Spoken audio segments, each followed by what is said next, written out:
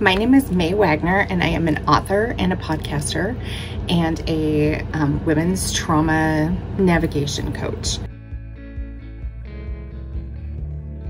My latest book, this is a is a memoir entitled Girls, Assassins, and Other Bad Ideas, and it's very, very special to me.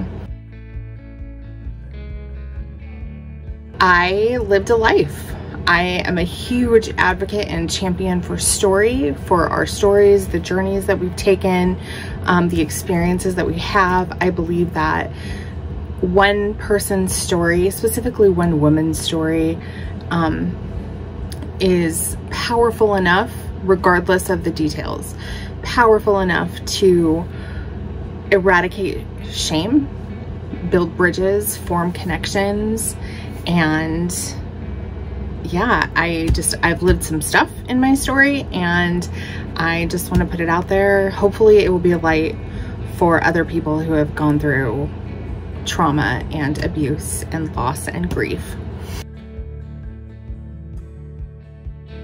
My research process was life. Life, my own life, life with clients and different women that I've connected with who have gone through trauma and just worked through it and healed from it myself, my own journey, facing my traumas, unpacking baggage. Um, yeah, my research was absolutely the best form of research there is, which is experience, experience and empathy.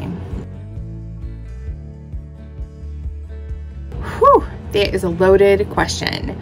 I love the connection that writing feels. If I am working on my own stuff, personal essays or my memoir or future projects that are based around my life and my experiences. I love the connection that I have with myself. I love the connection that I get to have with readers, the conversations that flow out of readers who have been touched or moved by something that I wrote. It's my absolute favorite thing. Um, when it comes to fiction, what I love about it is this ability to create something different than what I've known.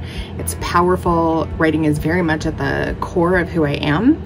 So when I'm not writing, I find that I'm at my lowest mental and emotional health wise. So writing is good for me, for my personal journey, my mental and emotional health. It is twofold.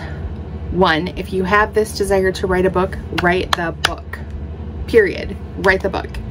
Even if through the journey, through the excavation of whatever it brings about in your soul, even if that isn't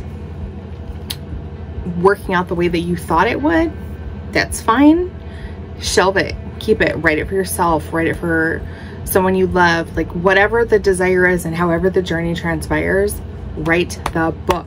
But twofold, be a part of a community because writing is an isolating and often lonely process and it doesn't have to be. So finding a community of people who will support you, they don't have to be people that write the same things you write. Um, but finding a community of creative people is hands down the most supportive, cathartic, and life-giving part of the writing experience, I believe personally. You can buy my book anywhere books are sold. Um, it is currently on Amazon, Barnes & Noble. It can be ordered in local independent bookstores, which is my favorite option. Um, so yeah, it should be available at least, if not on shelves, to order everywhere that books are sold. Thank you.